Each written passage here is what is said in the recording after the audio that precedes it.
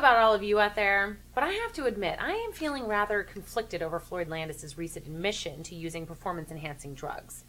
I mean, let's face it, the guy is not a very sympathetic figure in the least. He spent several years and over a million dollars in borrowed funds defending himself against allegations of cheating during his winning run at the 2006 Tour de France.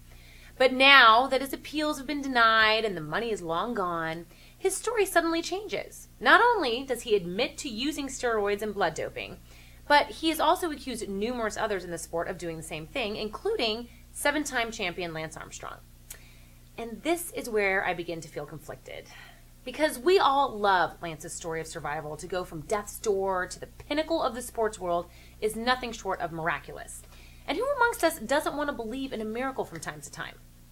But here's the thing even though Armstrong never once tested positive, it seems so far fetched that in the dirtiest of sports, he would be the only one to play by the rules.